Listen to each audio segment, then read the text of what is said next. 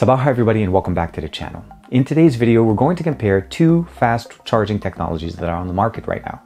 On one end, we have the OnePlus 6T that has the dash charger, or what used to be called the dash charger, that comes on the box with it. And it's for the most part been the reigning champ for quite some time. Dash charging is very fast.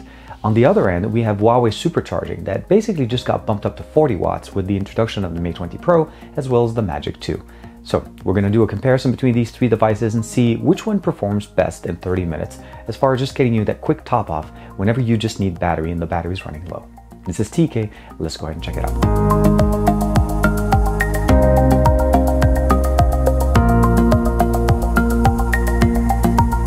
So in front of us, we have all three devices. We have the OnePlus 6T uh, that's running a 3700 milliamp battery, so a little bit bigger than what we've had before on the OnePlus 6.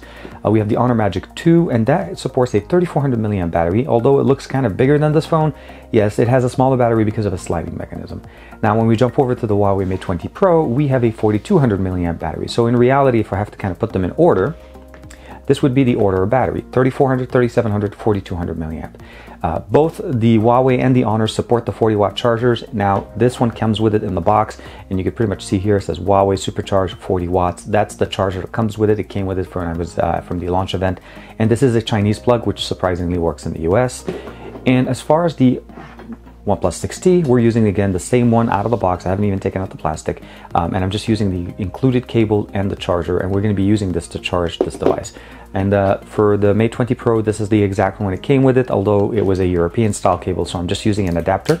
But other than that, it's the same 40 watts supercharger Huawei and we're going to be charging it again. All the cables are the ones that came with it. All the chargers are the one that came with the devices. I've depleted the battery on all three devices. And what I mean by that is I've let the devices run all the way till they actually shut down. Now, it doesn't mean necessarily that the battery is down, but this is kind of a good reference point to be able to get them all at the same level. Uh, they each have a different size battery, so obviously charging and this charging is going to be different. So the only way I can keep them level is to make sure that they all deplete. I do not recommend you doing this for your devices. The optimal charging um, states uh, for any device essentially is don't let your device go below 5%, 5 to 10%, and then of course don't let the device stay too long above 90%. That usually will extend the battery life for your phone. But for this example, I'm going to go ahead and plug in these chargers and we're going to start a time lapse showing you guys how much are we able to charge each one of these devices in 30 minutes. So basically that if you had a phone that the battery is almost dead and you have one of these chargers and you plugged it in for 30 minutes, how much can you expect out of that phone?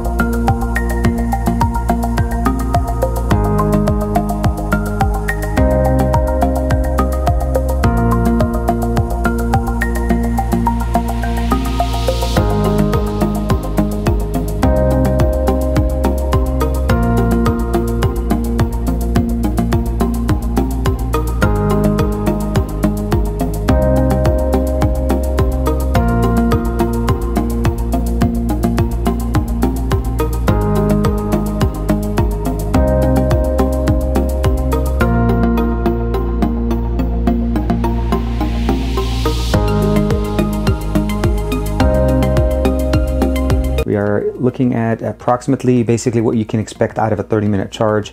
84% um, still charging again, 54% uh, and almost 70%, 69% here sitting in. So realistically between the three batteries i think these technologies are very very fast a smaller battery obviously will recharge faster but the really big comparison you can see here is the 3700 milliamp battery and the 4200 milliamp battery this has a bigger battery and went up to 70% faster than this one was able to go to about 55%. Overall, you're not going to be disappointed with the speed of the charging on these devices, but one thing you want to keep in mind is that you need to use the original chargers. None of these speeds will be performing the same way they are if you use an aftermarket charger. You have to use the one that came in the box with these devices. I hope you were able to see in this example that if you, for any reason, forget to charge your device overnight and you wake up the next morning with, let's say, 5 10%, and you need to top off real quick before you go about your entire day, you can at least get 50% recharge on any one of these devices that I showed you today. Now, of course, as far as performance, we saw that the Mate 20 Pro did perform the best as it has the biggest battery and it did charge up pretty well. And of course, second would be uh, the Magic 2. And then the 6T did come third, but you have to kind of consider the price point to value feature. The Mate 20 Pro, although the leader, is a close to a $1,000 phone, where the 6T is still around $550 and is had basically at a 3700 milliamp battery, still charged you up in 30 minutes over 50%. I think it's a really good value looking at it, basically looking at it from just pure numbers. Um, but as far as actual speed, course, you're going to be giving it to whoever wins, which essentially is the Mate 20 Pro. The Magic 2 is a pretty close second, even though it has a smaller battery. Obviously, it will recharge faster. But when you look at them basically from what's available for us in the US today to be able to kind of use as a device, the Mate 20 Pro will be basically something that you can definitely enjoy, fast recharge, and of course, really fast connectivity all over the place. Uh, the 6T is extremely well valued and really well placed in the market. And of course, it's available to us not only from OnePlus as an unlocked version, but you can actually even pick that up directly from T-Mobile. So keep in mind what you have access to and what's the best value for you.